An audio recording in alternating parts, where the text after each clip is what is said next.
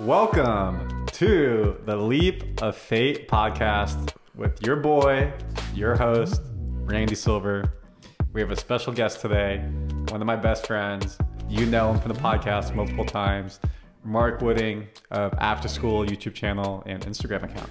Mark, welcome to the podcast. Thanks for having me. Do you know why you're here today? I think this is a special number, right? Does the audience know why they're here today? Tell us why they're here. This is episode 100.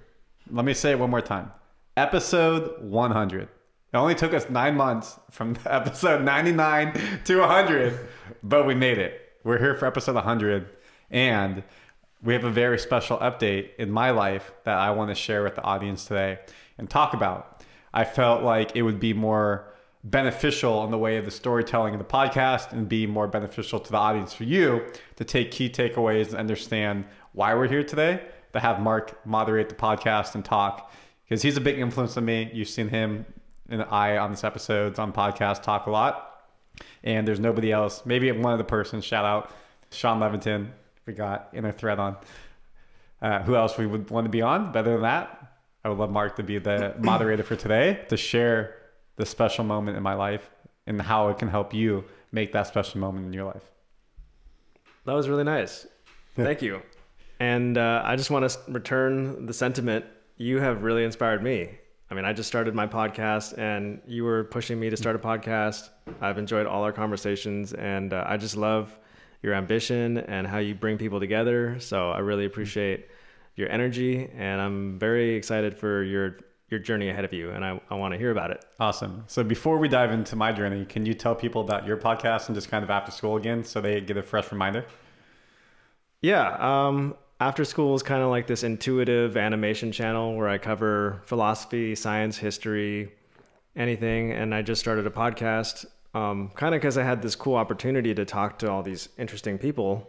And I figured, you know, I don't really have a, a, stra- a strategy for the podcast, but it's kind of just it's kind of like you you know i'm just mm-hmm. talking to whoever yep and really it's it's about like being curious and and pulling that thread of curiosity and seeing where it takes you you know what's the name of the podcast the BeforeSkool podcast. The BeforeSkool podcast. The, good name. The bs podcast. And how can they find it? Uh, on youtube right now. Awesome. So you can go in the links. You'll be able to see it. And one thing that mark and i talked about was exactly what he said is he gets to bring so many people on to the AfterSkool part. It'd be cool to interview them about their thought process, just talk about life, their their history, them shoot the shit together. And I think people will be really interested. You already got over 10,000 followers on YouTube. People are really enjoying it. And, you know, Mark's never maybe been the most outwardly social person. Obviously, he uh, doesn't show his face a lot on AfterSkool. So for him to take that leap of faith on himself to start the podcast is a big step for him. And uh, I know it's going to be extremely successful. Yeah. You know, it's funny. Like, I, I don't think that I'm a great podcaster, but that doesn't mean that I shouldn't start because in a year I'll be looking back at what I'm doing now and I'll probably cringe, but you're not going to be perfect when you start. So it's kind of just like start and see where it goes. Yep. And his first guest was Rashad Evans, UFC fighter, legend, Hall of Famer. So yeah. go check it out. It's nothing about UFC to talk about. Talk about mushrooms a lot. well, it's fun. It's funny because he kind of pushed me into starting it. He was really the catalyst because he was like, "Let's have a conversation and record it." And I, I was like, "Well, I don't. That's not really what I do." He's like, "Just start a podcast," and I was hmm. like, "I have been thinking about having a podcast, and how am I supposed to say no to like the UFC champ?" You know? Yep. Yes. So yeah, don't tap out. yeah, which is a good segue. that we can Let's, turn to why we're here today. Let's get into your story though. Yes, that's why we're here. Leap of Fate, episode 100. Yes, sir. Why did you wait nine months from episode 99 to getting to 100? Episode 100, and anything you do in life, if you do it 100 times, it's a huge accomplishment. Say it's 100 workouts, uh, Peloton, spin cycle, soul cycle uh, you'd go X, Y, Z hundred times. It's a big accomplishment. Accomplishment, excuse me. You're moving from double digits to triple digits, and then obviously from triple digits to four digits, you got to go another. Uh, quite a bit. quite a bit. Another 900 times. It's yeah. gonna take you a while. So I wanted the episode 100 to be really meaningful. I wanted to be something in my life.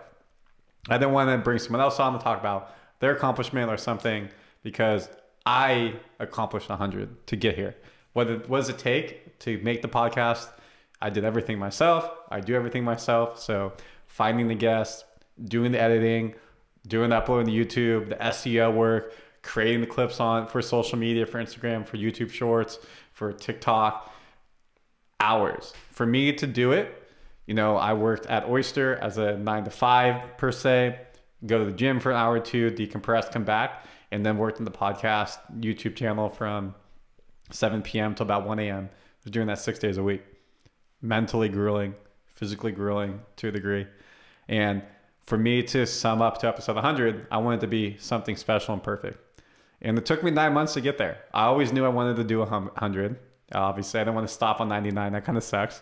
But I wanted 100 to be perfect, and it needed to be something that I accomplished for myself to make it meaningful for you, my Loft audience who've been with me this whole journey, to see how Loft impacted me because I know how much it impacted all you out there. You've talked about that on Instagram, over YouTube, uh, hitting me up, texting me, my friends, my family, of the guests I brought on, how they made an impact, such as Mark, helping people pursue their dreams. And I needed to make an impact for you to get the same accomplishment from me. I felt like, you know, I've done some solo episodes. You know, Mark, before we hopped on here, talked about the episode I talked about dating during the pandemic where I dated a girl who was a clown. Did not know that at the time until she told me in the middle of dating. And then someone else who somewhat stalkered me a little bit. Uh, and I've done other solo episodes where I talked about, you know, rest in peace, Alice, where she got hit by a drunk driver and passed away. And I ran a half marathon in her honor with a group of friends. So I've done solo stuff that hopefully have made an impact in your life. It's made an impact in my life. But for episode 100, I wanted to wait until I had something as impactful of something like that to move forward.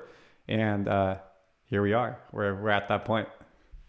well said. Uh, 100 episodes, that's a big accomplishment. Yeah. Yeah. Congratulations. And what, what kept you going? Well, let me ask you this before we, I'll answer that question. How yeah. many are you at for AfterSkool? How many? I'm at four. Hundred. No, no, oh, not for the podcast. Okay. How many, how many AfterSkool videos have you released? Close to 200. Close to 200. Yeah. So you've almost doubled that, which is impressive yeah, to well, think about. So you understand the accomplishment of doing something a hundred times in the sense of the creation that goes mm. into it. Well, what I was going to say is what I really admire about you is that we kind of live in a culture where we want that instant gratification. And I, am definitely guilty of this. I, there was a point where I wanted to be a DJ.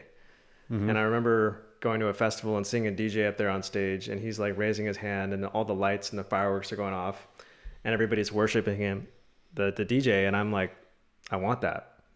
And then I come to find out that DJing is a lot of work and you have to learn how to produce music and you have to you know what you're seeing on that stage is the very very tip of the iceberg. What you're not seeing is all the long nights and hard work and thousands of hours that went into getting to that point. Yeah. But i think we have a tendency to see the person on top of the mountain say i want to be up there but we don't want to do the work to get to the top of that mountain. What i really admire about you is you kind of you had so many opportunities to quit and i really admire that you just kind of put your head down and just kept grinding. You're so yep. like you have so much perseverance and i really respect I, that. i appreciate that. There is a point i think it was around episode 85 i had not missed a week of the podcast. So we did every week for 85 episodes which puts you at basically a year and a half almost two years. So that's impressive. And then they tape it tapered off life got busy things happened and that's not an excuse. And you know I wasn't going to put out content that did not hit the standards I wanted to hit. And that's not, I don't want to devalue as my listener to be like, oh, he's dropping off. No, that's not who I am. High standards, which hmm. takes us to why we're here today. So, can we get the drum roll? What's the name of the podcast? Leap of Fate. Leap of Fate. And I am taking the leap of fate on myself. I have quit my job at Oyster. Uh, we'll talk about that in a couple minutes. And I am moving from San Diego, California to Orlando, Florida. And I am going back to school at 30 years old to pursue a career in sports broadcasting at the Dan Patrick School of Sportscasting in Full Sail University in Orlando, Florida. I start the school June 25th. Today is April 19th. Happy almost 420. Uh, and I will be moving out of my apartment in San Diego May 31st hang out at my parents' house for a couple weeks, and then mid June I will move into Orlando, Florida, and be attending school. It's a 20 month program year round, so there's no like summer break, no like winter breaks, things like that. It's a trade school, so they focus on specific degrees such as uh, in sports, in media, in entertainment, in music, in uh, video games. So you get a very specific degree, such as sportscasting or sports management or sports marketing. It's not like you go to school and you get a business degree, you get an economic degree. So it's very specific. Is run by uh, Dan Patrick and a crew of former ESPN head honchos who started this program to get people into the sports field. It's a very unique program. Uh, I've known for a couple years. I've been following about it since pre-pandemic, but it just didn't make sense probably in the pandemic with all the restrictions happening to kind of move and see what would happen. So I wanted to make sure that everything was kind of back to normal to get the most out of the program and the move. And I'm really excited to go to the program. What does the program offer, you may ask? They have a full-on studio. So for someone like me, and we'll talk about like my whole dreams. Um, you know, I've done podcasting, I've done YouTube, but I've never been inside a real TV studio. So they have a full TV studio, and they teach you in front of the camera, behind the camera. So some of the classes you take are uh, how to cut a reel, how to do a two minute interview with a person coming off of a field like an athlete. How do you sit in front of a sports desk and you read a teleprompter? Uh, they teach you public speaking. They teach you how to video edit. They teach you how to run a camera. So you, you get all the skills that go into creating a 30 minute SportsCenter newscast, how to create a 30 minute local news. So you get to learn the behind the camera and front of the camera. In addition, they have a partnership with the D2 school locally where you get to be the color commentator for their sports games, football, basketball, softball, uh, baseball, etc. You get to interview the athletes, so you get real world experience there. Finally, they also have partnerships with the different sports leagues, uh, LIV Golf, PGA, NFL, NBA, uh, MLS, etc. And you get to go work those events, and you know maybe you're not color commentating the game. Fair enough, they have national broadcasters there, but you get to go work the event as a reporter and do and cut like a 30 second reel and do things like that. So they're giving you all this real world experience. And by the end of the program, if you've done it correctly, you you know you should one have a lot of connections and networking from the instructors there. Two, have a really good reel that will put you in the opportunity to get hired outside of school. And then three is they bring a lot of people in to speak, such as Dan Patrick himself, Scott Van Pelt, other prominent SportsCenter anchors, other prominent people in the field who come talk to you because they have those connections and come in. So for someone who at 30 years old, does it make sense for me to go back to say University of Texas, say Ohio State and be a four-year student and start my bachelor's all over again? Or do I do an accelerated program that's 20 months and really get a focused, censored uh, schoolship? It made the most sense. Hmm. So, can you take us through that moment? Was it a moment where you decided to do this huge shift in your life, like, or was it a kind of a gradual decision to get to this? Yeah. Well, what I will say is, uh, I have a girlfriend. Uh, she's amazing. Her name is Mary. Hi, Mary. Shout out, Mary. Shout out, Mary. I love you. She's been an amazing support system. She, we've been dating for uh, almost a year now, and she's been the most vocal to me about supporting me and wanting me to follow my dreams and wants me to be happy. And so I've told her about this in, the, in some bypassing. And finally, she's like, hey, if you need to go two steps back, three steps forward, and if that means you got to move somewhere to make this happen, you know, I want to be with you and I want to support you in your endeavors and your dreams. And um, I'm willing to uproot my life to make sure that we can be together if you need to uproot your life to make it happen. So that gave me a lot of confidence to make the decision. Uh, so, Mary, thank you so much. I love you. Uh, but this really started when I was probably five years old. if you take it back, uh, if you know me, I'm a sports guy. Been in sports my whole life. Played sports. Talk about sports. When I'm not working, like my tech jobs, it's been sports, watching sports, playing sports, talking sports. So I've always told myself, if I could put the product on the field, if I could watch the product on the field and commentate on it, if I could write about the product on the field and then talk about it, to me, that would never be working a day in my life. So, long story short, if I could have a job in sports and be getting paid to watch sports and then talk about it, that would be the dream job for me. I went to UC Santa Cruz, which is not a big sports school. There weren't a lot of opportunities to maybe break into that field there. Out of school, you know, the ultimate goal is to you know get a job and start earning some wealth for yourself, create a savings account. Went into San Francisco. That's where I met Mark. He also went to Santa Cruz as well. Go Banana Slugs. And you know, I was a tech sales job as a sales rep, and then I moved into sales management. I did sales management at multiple different companies for about 10 years now that I'm 30. And it was great. It provided me a really good life. I was able to travel the world. Uh, I was able to travel for business and pleasure, able to make amazing friends in SF, able to move down to San Diego, met some amazing people I work with who are some of my best friends, who are mentors, who are peers. I had a really, really good life at work, but it was a standard nine to five tech job behind a computer, and uh, openly, it wasn't fulfilling. I Cisco's a great company, great to work for, but I don't wake up every day caring about selling tech hardware or cybersecurity. Oyster is an amazing company to work for. Uh, great work culture, great mission, but transparently, I don't wake up every day wanting to sell HR tech. And there's a point, and this is something that Sean Levitin really talked about, is like you can only do something so much until you're gonna get either bored of it, you're gonna get tired of it, or it's either way that you're doing it because you're unfulfilled about it. And you're gonna stop doing it, or you're not gonna wanna do it, or, or your performance is gonna decline because you're not in it anymore and your heart's not in it. So I would say the past, probably starting early pandemic, like right before it, when I was still at Cisco, I had that feeling. I was like, I don't want to do this anymore. I want to go into sports. But then the pandemic happened, everything shuts down. You know, a lot of us, what would we do? Hey, we got to work remotely from home. Things change. Not really trying to make a big life move during the pandemic, uh, not knowing the restrictions, what may happen whatnot.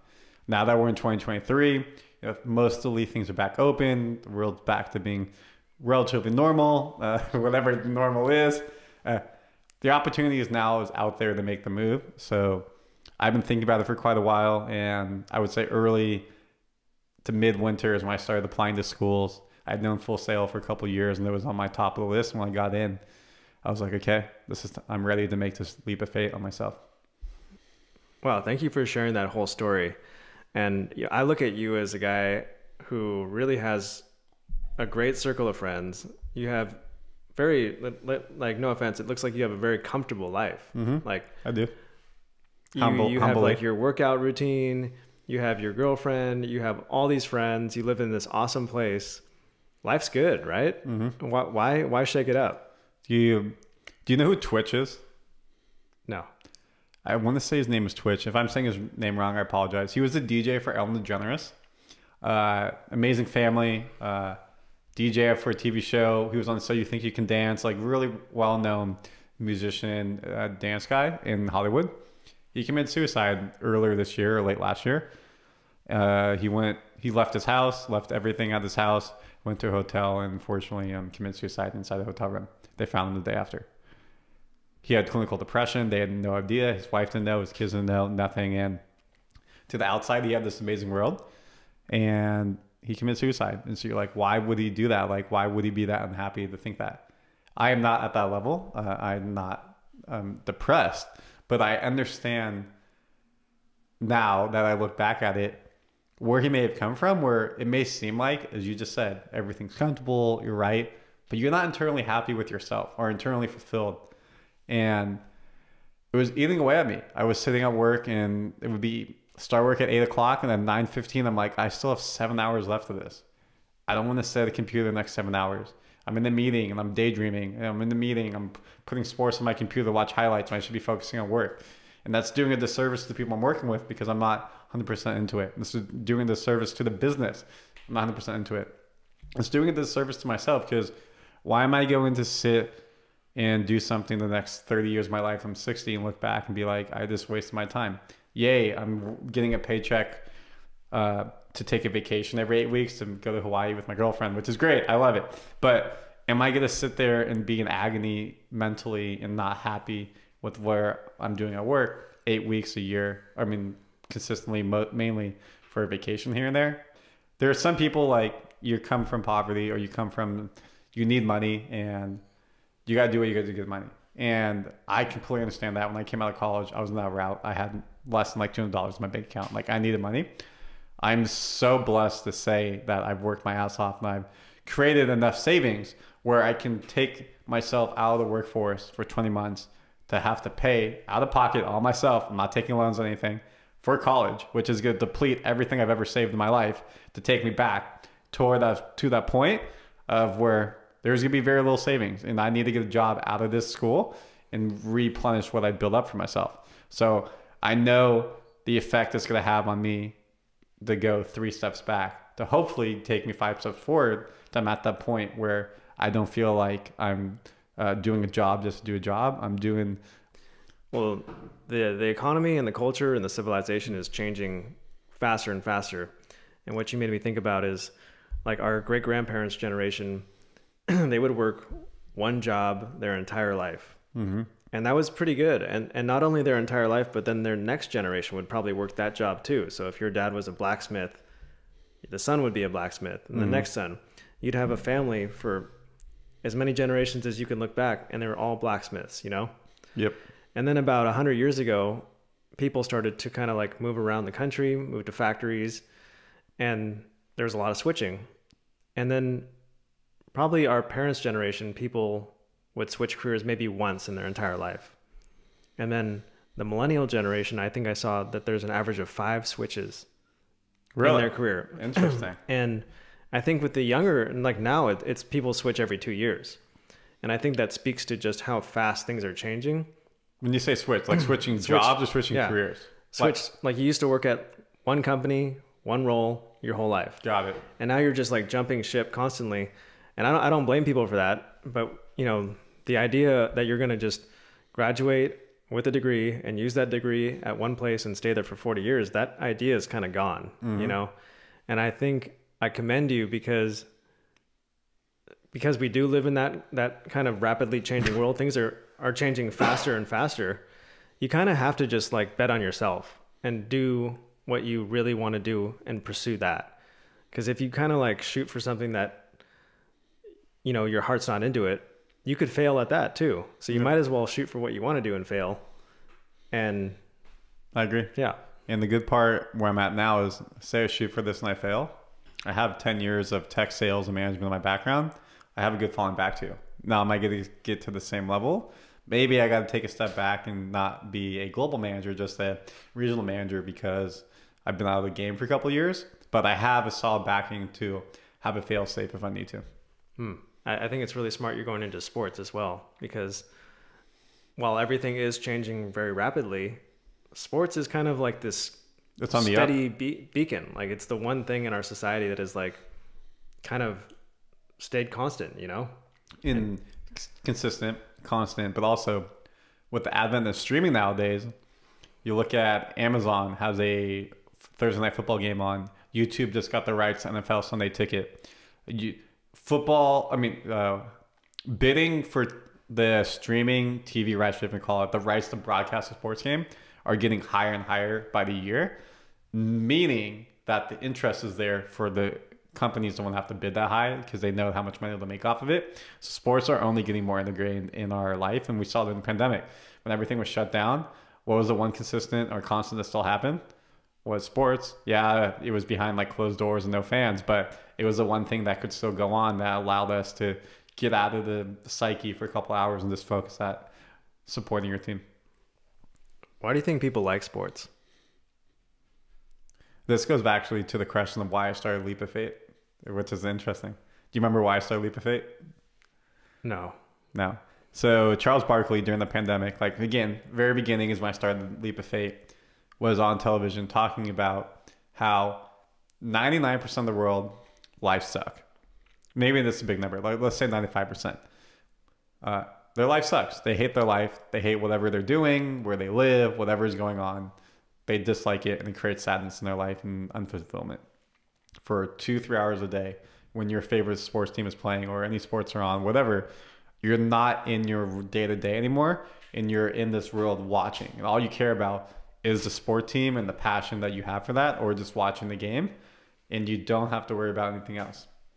With the pandemic happening, all sports shut down you realize your life sucks and there's nothing and you just sit there and you're like there's nothing taking me away and you just are more depressed and sad because your life really sucks I thought that was an extremely pessimistic mindset and the pessimistic way to see life, which is why I created the leap of fate with the concept of how do people overcome adversity? How do people turn their life around? Or how do they make something with self empowerment? And that's why we brought on all these amazing guests who talked about not how life sucks or how their mindset sucks. Hey, you can overcome that if you set your uh, mind to it and you have the right goals. And it's not going to happen easy. You take steps, but it's how you get there. To answer the actual legit question, I'm not a politician. I'm not going to round about you. Uh, I think people love sports because uh, it gives you something as a community to root for, as a community. So let's just use here in San Diego. What are the teams that we have?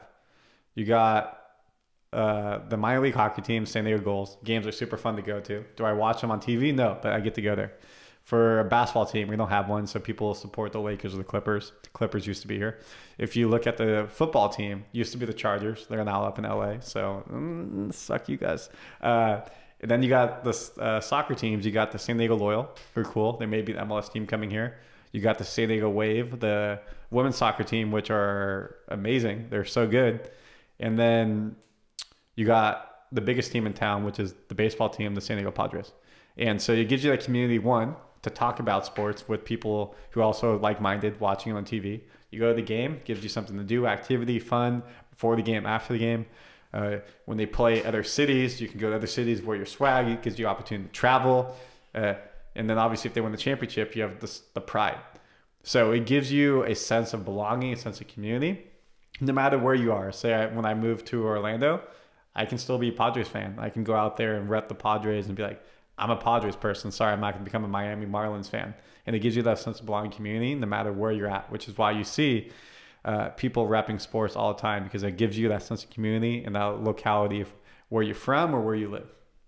Well said. And I, another thing I think sports really provides is uh, hope. Like you were saying, a lot of people are demoralized out there and if you talk to people who are huge sports fans, like huge football fans, every single one of them believes that their team is like one player away from the Super Bowl. You know, mm-hmm. it can be the worst team from last season. They all have this idea that, oh, we're going to draft this player and we're going to be in the playoffs and we're going to. I think the NFL, especially, has been so good at, at selling their fans on hope because everybody believes that, you know, they have away. this hope. Whereas like who wants to watch a, a sport where you know that you're probably not going to win? Like your team's your team who wants to watch their team lose every game? But look at the Oakland yeah. A's this season. They average there was one day, like it was like the first week of the season, they had 3,000 fans in the stands as a major league team, 3,000 fans. The team is not good, everyone knows it. Nine minor league teams, minor league teams, so not major league teams, minor league teams had more fans in the stands that day than the Oakland A's. That's wild to think about. A minor league team, nine of them had more fans than a major league team eh, in the stadium. And you know why? Because they have no hope. They know the team sucks.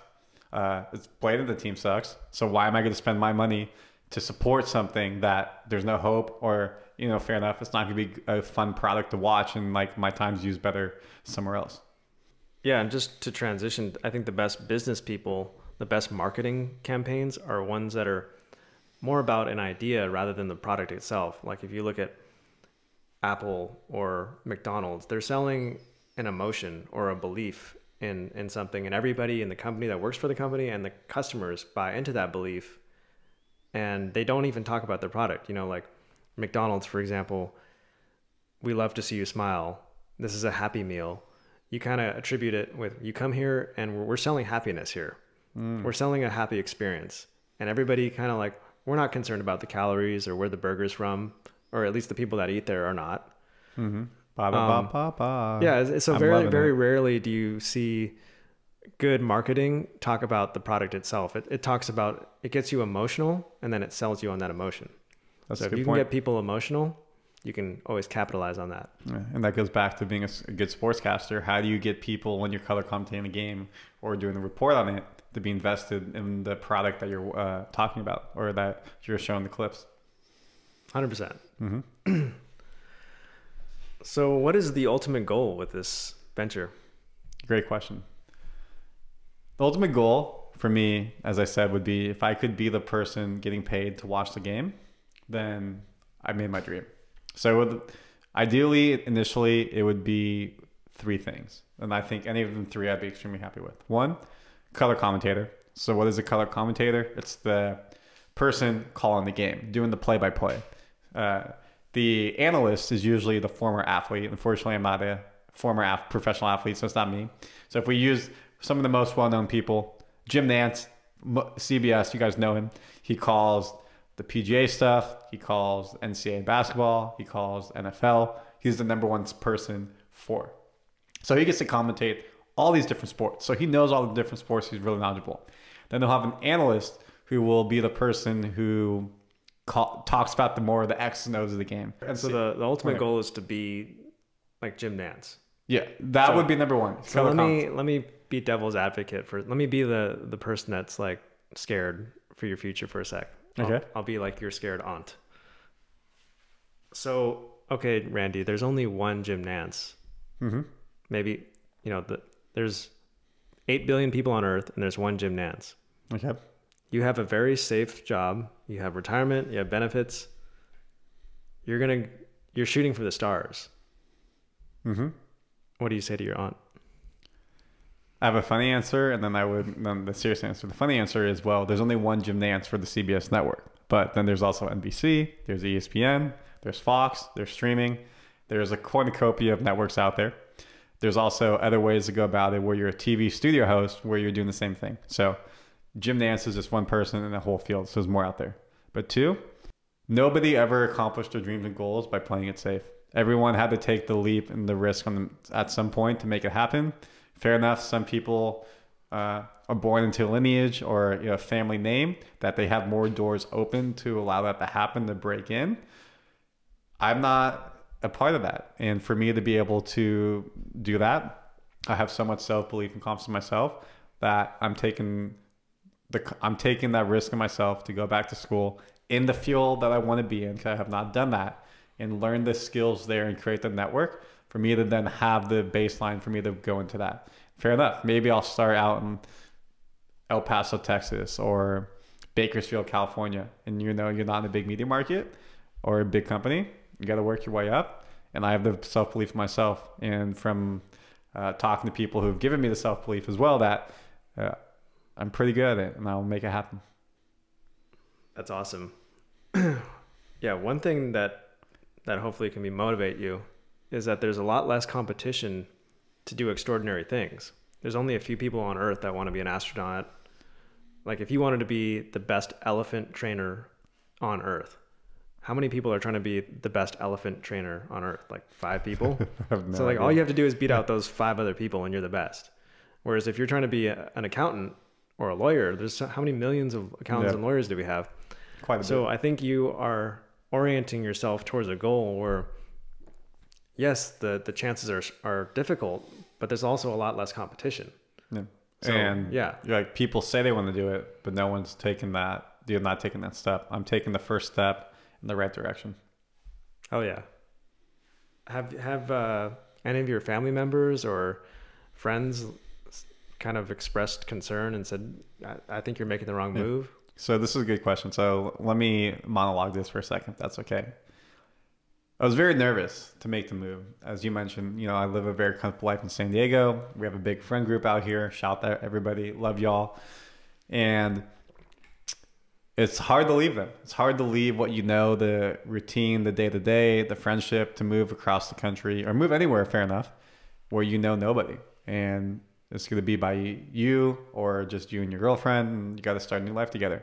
But there's been millions of people who have done that. If it's uh, going from one city to another, from one country to another, people leaving war, leaving famine, uh, leaving strife in their country they're trying to find a better life in a different country. And you do what you got to do to make the best life for yourself. And for me, this to me is making the best life for myself is taking this opportunity for a career change. Not that I'm comparing myself to someone who's leaving a war torn country. Not I'm not trying to say that, but the concept of like you got to when you get to where you go, you will make the life for yourself that you want.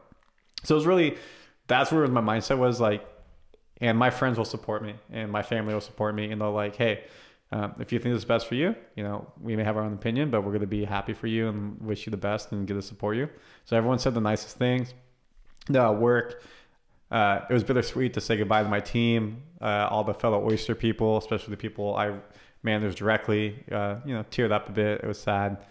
They're going to be in a great spot. Uh, I'm really excited to see them continue to grow and how the company will be successful. But they've all were like, it's a big loss. We're going to miss you. Uh, it's going to be tough to replace you. The the value you bring, the ROI you bring, um, is it's irreplaceable. So one, you know, it's great to hear that and to know the impact that you make. And two, also just makes it harder to make that decision. Um, but again, having the conviction yourself, I know I'm making the best decision for myself. And the friends were, were wise. Everyone was super supportive. I think the most interesting thing I heard, which I was least expecting about, which is probably the big topic that I want you and you to know is you can make the same choice for yourself. It doesn't have to be move across country career change, but a lot of people come up to me and say like, I'm not happy at my job. I'm not happy with this. I'm happy with that. And it's rewarding to hear someone make that change who I know. And it's not a small change you're doing. You're dropping a really good job. You're changing your whole life to go across the country, to go three steps back, to go five steps forward. I've been thinking about that. I just haven't had the courage or the charisma to do it. And to see someone who we know is successful do that and feel vulnerable and open up and share that and then make that change helps me feel comfortable knowing that I can make that change for myself and do it.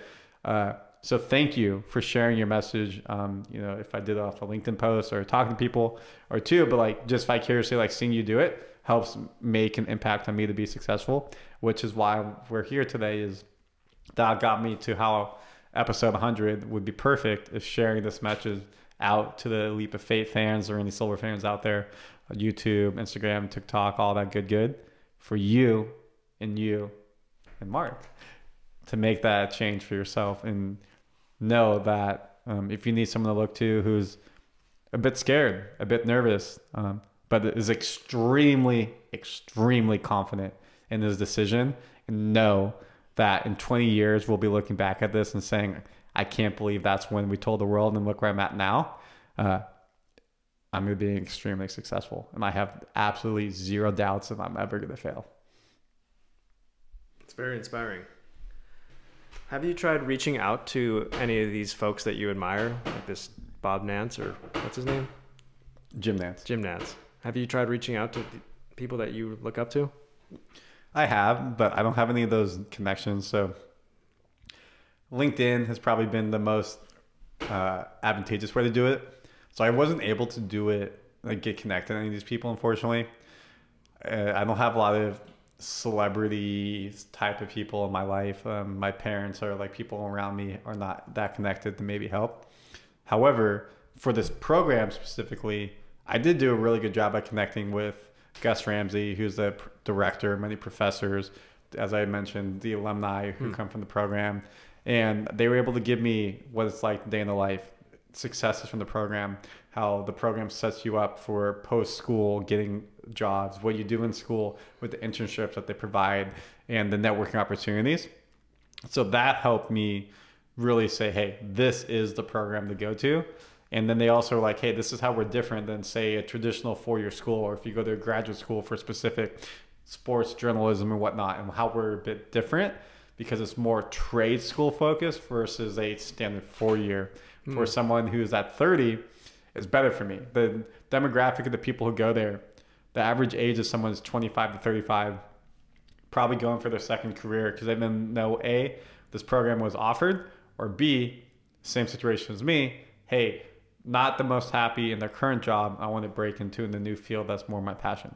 So they're like, hey, you're actually like the average right there in the middle of the uh, demographic that we see. And yeah, well, one thing that I was thinking is it's it's pretty interesting how if you reach out to like five people that you really admire, even if they seem like they're a big celebrity, you will get a response back most of the time. I'm, I've been really surprised by that. Ever since I started my YouTube journey, I've I've made a note to reach out to people I really look up to and I've I've always been shocked by like specifically email. Like if you do things on Facebook or Twitter or Instagram, it gets lost. But if you can find their email, they will get back to you. Like for instance, I, I have almost three million subscribers on YouTube. Let's go. And I don't get that many emails. I, I'm I'm able to read all the emails I get, My email is right there on the YouTube channel. Anybody can email it. I probably get like no more than 50 emails a day. Definitely no more, but it's not a, like it's not a, a number where I can't read them all. But You know, of the it's- 50, how much of it is like spam or is it like legit unique emails from uh, individuals reaching out to you? Um, they're they're all over the place. Like probably five emails a day are from people that want to sponsor the channel, which is kind of cool. But I, I always ignore those. And then maybe there's like twenty from fans that just or people that watch the channel that want to send me an idea, and I, I get like some of my best ideas from them. Yeah. Great. So like I and I, I've emailed and vice versa. So I've emailed people I really look up to, and it's pretty cool when they give you a response, I agree. and it can be very, very helpful to I think this is a good way to tie off Leap of Fate. I'm not sure if there'll be an episode 101. I'm thinking about starting a new podcast that's sports specific, you know, talking head, talk about the key sports of the day, the week, things like that. So this may be the end of Leap of Fate. If this is the end of the Leap of Fate in the way it is, I want to thank you. I want to thank you.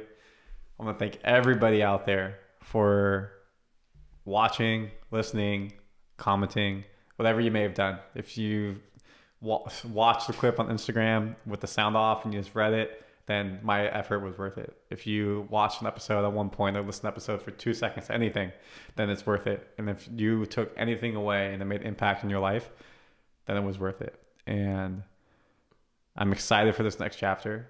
This one chapter is closing with Oyster, and it was amazing. This one chapter is closing with Leap of Fate, but there's a new chapter starting, a new era in Randy's life. The dirty 30s are here, baby. Let's fucking get Let's it. go. Let's fucking get it. So thank you, everybody. We'll do it one last time, Mark. Repeat after me. Stay healthy, stay well. stay wealthy, and have a good week, fans, or a good year, or a good life. Deuces. Deuces. See you on ESPN.